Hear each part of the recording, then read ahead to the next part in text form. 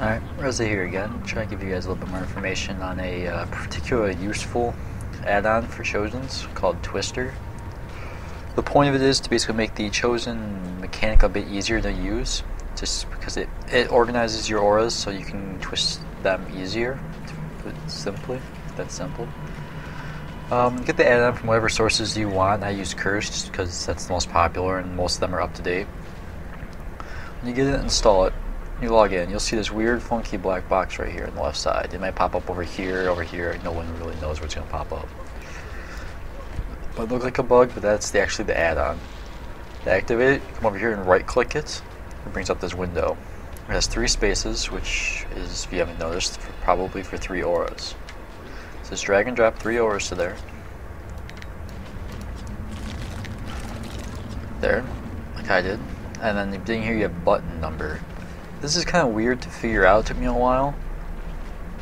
But um, I believe it's nothing more than like placement on here. Like if I was to set this to 1, that's the first spot right here on my hotbar. 2 would be this spot, 3 would be this spot, 4 this spot, so on and so on. Um, I have 12 here, so this would be 13, 14, 15, and go through all your hotbars. It's not like set to Q like I have my hotbar set, or set to a particular number. It's The button number is the space, is what you put in. So if I bind mine to 1, it's going to bind to my Ravage skill. And really that's all there is to it. Once you have your three auras set up in there, just close it. Hit 1. Or, sorry, Q for me. Ah, fail. And wait, see that my aura kicked on right down here. Hit another one. Boom. It shows me the cooldown, the fade time on uh, Corrupting Retribution. Turns blue, time to hit another one. Boom.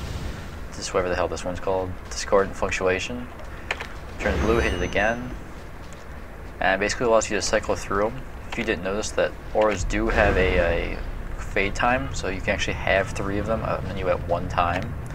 And as long as you keep cycling them, you don't really have any difficulty keeping those three on them. And that's the whole purpose of this add-on, to make it easier to cycle, instead of having to hit the individual hotkeys for them over and over again. But that's pretty much it. I suggest when it comes to binding this skill, this add-on, to bind it to like your main skill, like I did for Ravage. It's my main attack I used and I spam the most. This makes it a little bit easier so you don't have to go hunting for a particular hotkey and actually blow a cooldown. Oh, that's Twister. That's all there is to it. Thanks for your time and hopefully you learned something.